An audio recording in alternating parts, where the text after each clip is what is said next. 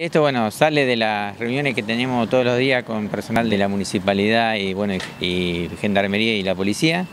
Eh, ahí se coordinan los operativos diariamente, se evalúan los que se realizaron en los días anteriores y bueno, hoy, lo estamos haciendo en esta zona emblemática de la ciudad, digo el reloj, bueno, también porque hay un cierre de comercio, o sea que tiene que haber medio movimiento de vehículos. Bueno, ahí tenemos también vehículos que están controlando el cierre de los comercios y bueno, estos controles se están haciendo todos los días, se pide el permiso de circulación y la documentación del vehículo. La gente está teniendo el permiso de circulación, está viendo con la documentación necesaria, digo, eh, si le falta el permiso de circulación, se le pregunta de dónde, de dónde viene esta persona y si no, se lo hace devolver a su lugar. En los barrios también se hacen patrullaje, digo, eh, se van cambiando las zonas y se coordina con gendarmería y policía.